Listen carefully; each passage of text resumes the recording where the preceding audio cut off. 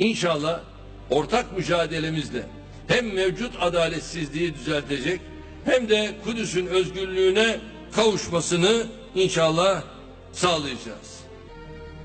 Umutsuz olmayın. Ve la taknatu min rahmetillah. Allah'ın rahmetinden ümidinizi kesmeyiniz. Müslümanlar asla çaresiz değildir. Güçsüz değildir. İman varsa her zaman imkan da vardır.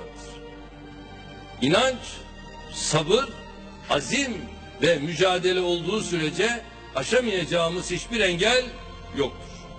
Onlarca İsrail askerinin arasında o başı dik yürüyen Filistinli çocuklar bizim ilham kaynağımızdır. Onlara selam olsun. Onca baskıya, şiddete ve devlet terörüne rağmen özgürlüklerinden vazgeçmeyen o Filistinli kadınlar, anneler bizim en büyük güven kaynağımızdır. Onlara selam olsun.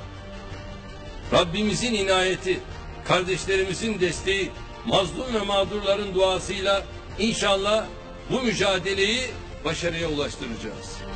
Bu düşünceler